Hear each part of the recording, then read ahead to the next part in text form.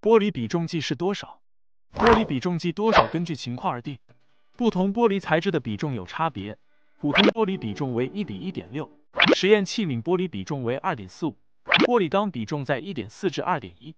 比重计别名密度计，是根据阿基米德定律和物体浮在液面上平衡的条件制成的，是测定液体密度的一种仪器。比重计是一根密闭的玻璃管，一端粗细均匀，内壁贴有刻度纸，刻度不均匀，上疏下密；另一头稍膨大成泡状，泡里装有小铅粒或水银。使玻璃管能在被检测的液体中竖直的进入到足够的深度，并能稳定的浮在液体中，也就是当它受到任何摇动时，能自动的恢复成垂直的静止位置。常用的比重计有两种，一种用来测量密度大于一的液体的密度，称为重表；另一种用来测量密度小于一的液体的密度，称为轻表。